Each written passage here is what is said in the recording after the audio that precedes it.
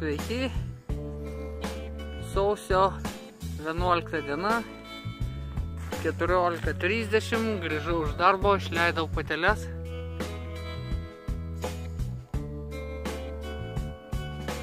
Ir pamačiau, kad šalia skraido vanagas.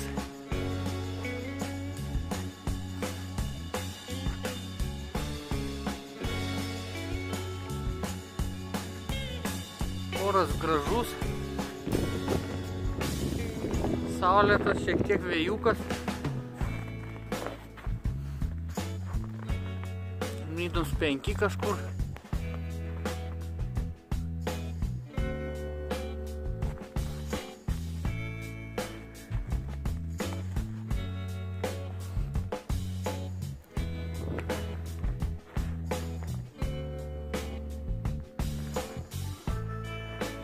Jo, vanagas nuskrydo.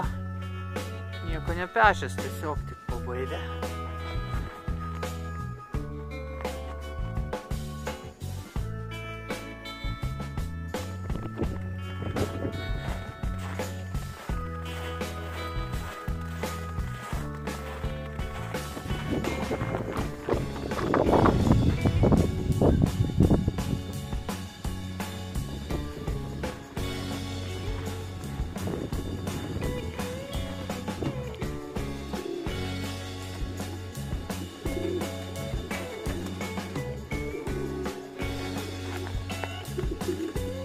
Taip, pavėsiu 7 laipsniai minus.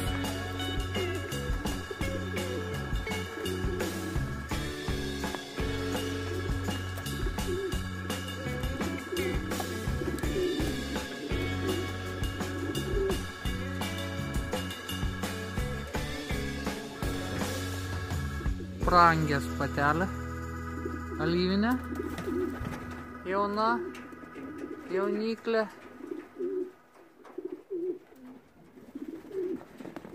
Taip, šitie jau sulindo.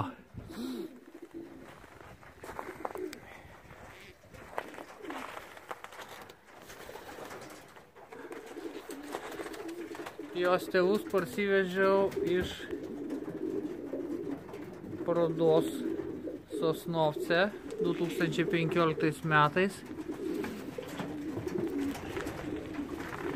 Prangės filialas Čekijoje.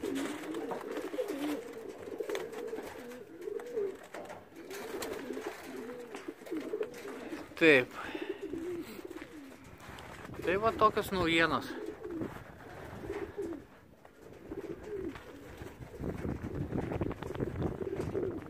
Kurie nori skraidyti, tegul paskraido.